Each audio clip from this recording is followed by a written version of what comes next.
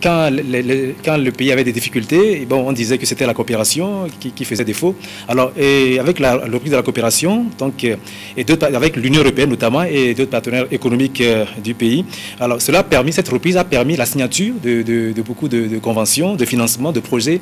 Et beaucoup de, enfin, beaucoup de projets ont été financés. Enfin, les gens se demandent l'argent qui est promis, où est-ce que cet argent va? Parce que pour beaucoup de personnes, ils ne voient rien. Oh, vous avez raison.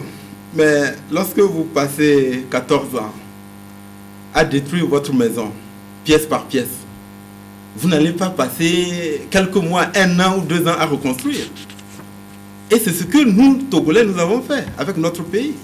Des gens ont décrété des grèves générales et illimitées, qui a donné un coup de boutoir aux compétences que nous avions à l'époque. Beaucoup de Togolais sont partis en exil, ont cherché ailleurs, dans le secteur privé, au Togo ou à, l'étranger.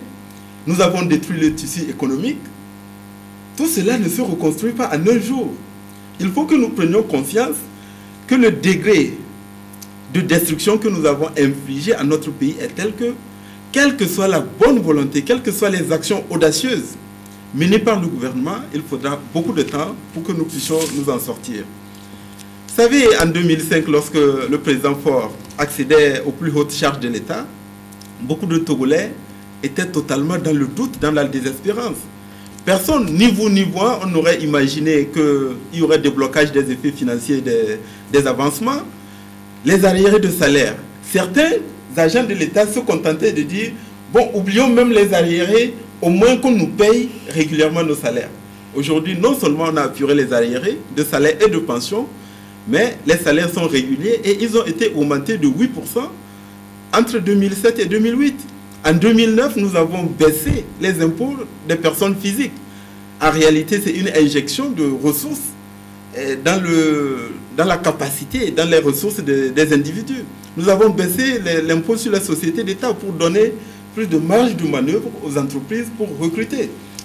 Quand il y a eu la crise alimentaire et pétrolière, 5 000 francs de primes a été donné aux agents de la fonction publique le nombre de fonctionnaires qui étaient dans la précarité temporaire et autres, il y avait plein de dénominations, nous avons commencé à régulariser cette situation. De nouveaux agents de la fonction publique ont été recrutés. Les producteurs de coton qui défiaient pratiquement l'État parce qu'il y a eu un certain nombre de malversations, de mauvaise gestion, et que la confiance s'est délitée entre les producteurs de coton et, et les pouvoirs publics 23 milliards d'arriérés ont été payés euh, aux, contemporains. C'est pour dire qu'il ne faut pas avoir le sentiment que rien n'est fait. Mais vous avez tout à fait raison de dire qu'il y a un grand écart, il y a un décalage évident, manifeste et objectif entre les attentes des populations accumulées pendant 14 ans et le niveau de satisfaction que le gouvernement est en mesure de réaliser. Et sur la base de la reprise de la coopération, c'est vrai, nous avons obtenu un certain nombre de ressources, notamment auprès de l'Union européenne, mais également auprès d'autres partenaires bilatéraux et multilatéraux. Je voudrais vous dire qu'au niveau de l'Union européenne, les reliquats des 6e, 7e et 9e FED ont été utilisés ou engagés de manière totalement transparente et efficace dans un processus qui respecte les procédures savez que nous, jusqu'à maintenant, nous ne bénéficions pas d'appui budgétaire de la part de l'Union européenne. Cet argent a servi à organiser les élections législatives. Les ressources ont été gérées par le PNUD, et donc euh, non pas par le gouvernement togolais.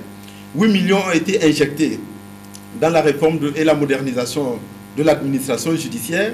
Et cet argent n'est pas détenu par l'État togolais, mais sur des comptes au Togo ou à Bruxelles à double signature par l'Union européenne et par moi-même en tant qu'ordonnateur des fonds de l'Union européenne.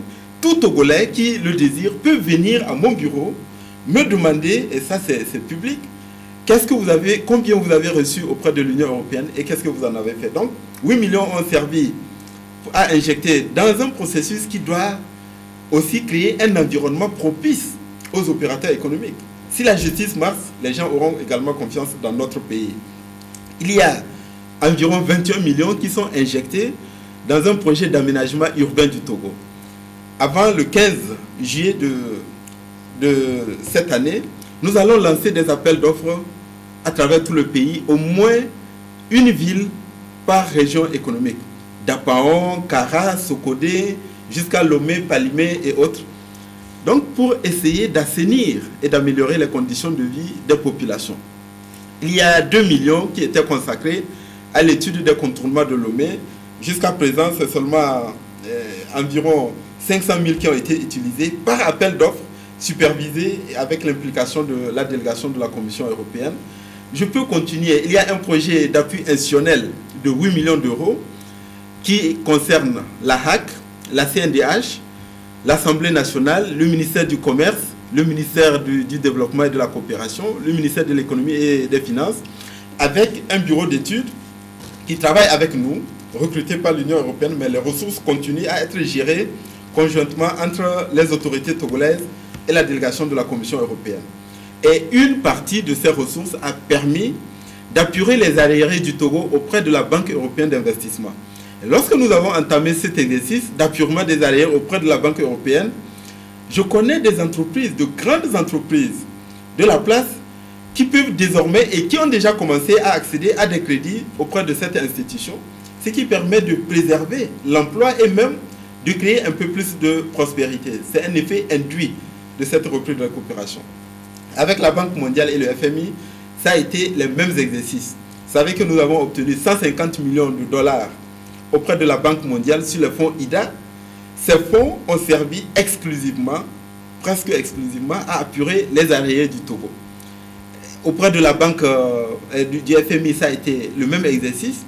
Vous savez, le président de la République, le Premier ministre et le gouvernement dans son ensemble, nous gérons comme de bons pères de famille.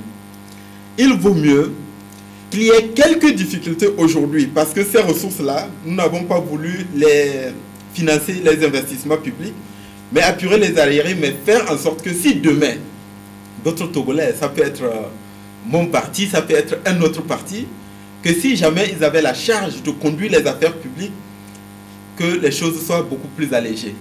Puisque nous avons accumulé trop d'arriérés. Vous savez, avec les institutions financières internationales, notamment la Banque mondiale et le FMI, à un certain niveau d'accumulation des arriérés, la coupure de la coopération est automatique. Et c'est d'ailleurs ce qui était arrivé en 2002, lorsque de manière imprudente et imprévoyante, le gouvernement de Agboyume Kodjo avait préféré cesser les paiements des arriérés. Alors, c'est pour dire qu'une grande partie a servi à l'appurement de ces arriérés, et aujourd'hui, le dixième fait auquel nous avons accédé, nous avons commencé à planifier. L'un des facteurs qui... Oui, est-ce qu'il faut payer forcément les arriérés quand les populations de l'intérieur ont des problèmes? On a des difficultés pour payer les salaires, etc. Les hôpitaux ont des problèmes. Est-ce qu'il